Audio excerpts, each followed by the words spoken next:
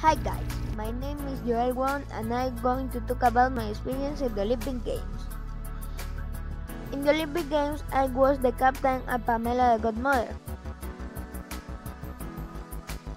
The Olympic Games were in the Samanes Park, in the Coliseum Abel Jimenez Parra. We start the event with a dance.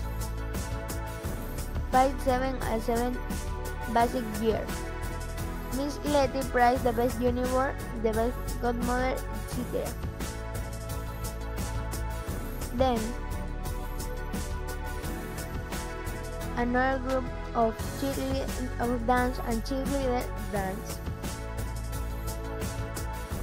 The Coliseum was so much tiny. All the Dutch don't enter. The team of 7A was Germany.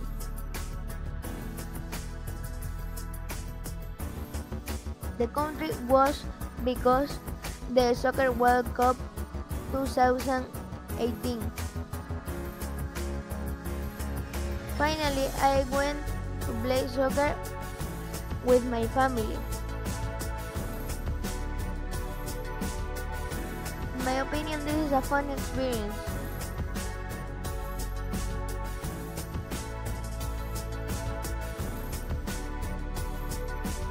For your attention.